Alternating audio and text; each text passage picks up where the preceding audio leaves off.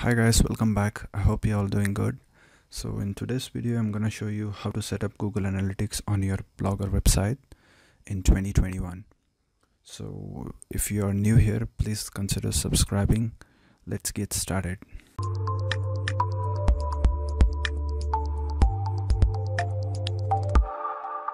Alright, we are on our computer screen. This is my new blog I just created. It has nothing. I have no blog post on this I have no post on this.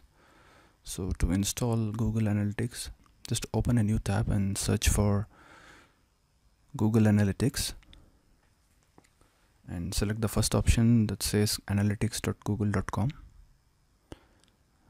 this will take you to the analytics page. You might require to log in. As I have already logged in it will take me to the analytics homepage.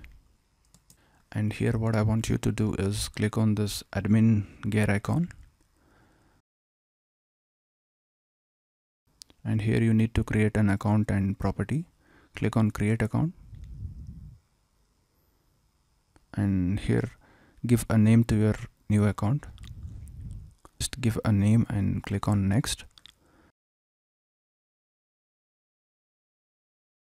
Enter the name of the property. You can write anything here.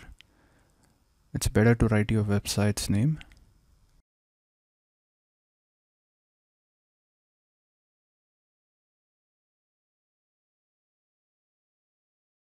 and here you need to fill in some details. Just select your industry type and select your business size. And here you can select any of these options and click on create. On this page you have to accept the agreement. Just check mark and click on I accept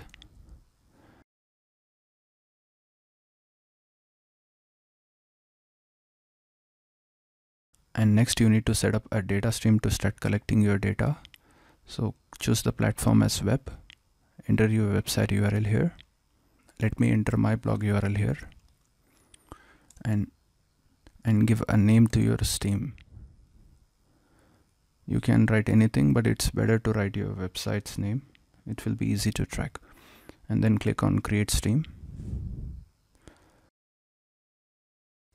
And on this page just scroll down to global site tag. And on this page just scroll down and go to global site tag. Click on it. And copy this code. Go back to your blogger and select themes. Click on this down arrow and select edit html from this list. This will take you to the back end of the blogger just make sure to paste this code after the head tag. Paste this code over here and click on save. Now this will save your google analytics tracking id on your blogger website. Go back to analytics go to your home page and try reloading the page here you can see that it says one user. Here, here you can see it is showing me one user in the last 30 minutes. It means that my analytics code is successfully installed on my blogger website.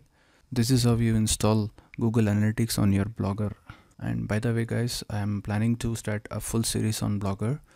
So if you are interested let me know in the comments down below. If you want more videos you can check out my channel. That's it. If you found this video helpful don't forget to give a like and subscribe. Thank you so much for watching. I will be back with another video. Take care. Bye bye